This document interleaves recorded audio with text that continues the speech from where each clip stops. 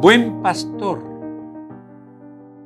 Jesús, Él da la vida por las ovejas, nos dice el Evangelio de hoy, que es continuación del Evangelio de ayer. Hemos de eh, tener esto bien claro. Nadie más ha dado la vida por ti.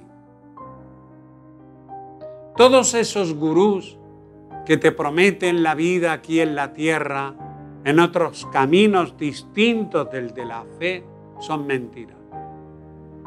Esos no van a dar la vida por ti, al contrario. En todo caso, te sacarán todo lo que puedan, te engañarán, te hipnotizarán con engaños y falsas promesas. El único que ha dado la vida por ti es Jesucristo, que no ha huido ante el lobo, que es el demonio, sino que le ha plantado cara subiendo a la cruz por ti. Por eso no tengas miedo de entregarle tu vida, de dar la cara por Él en medio de las tinieblas de este mundo. Él estará siempre contigo y te enseñará a dar la vida como Él la dio.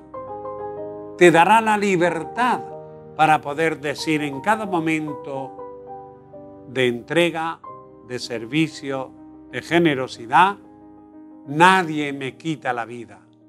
Yo la entrego voluntariamente.